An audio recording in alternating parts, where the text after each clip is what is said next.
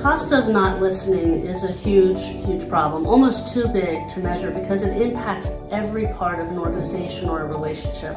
So in businesses, some of the cost is, think about sales.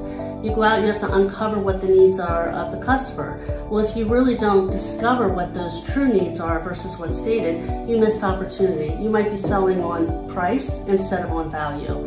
If you're in an IT organization, you might deliver a suboptimal solution because you're asking, you're delivering what's needed, or pardon me, what's asked for instead of what's needed.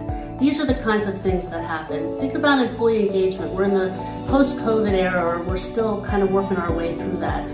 People are more remote and disengaged than ever, and digital technology has also made it much more difficult for people to really engage with each other. And employee engagement is huge, huge cost. Again, almost too big to measure.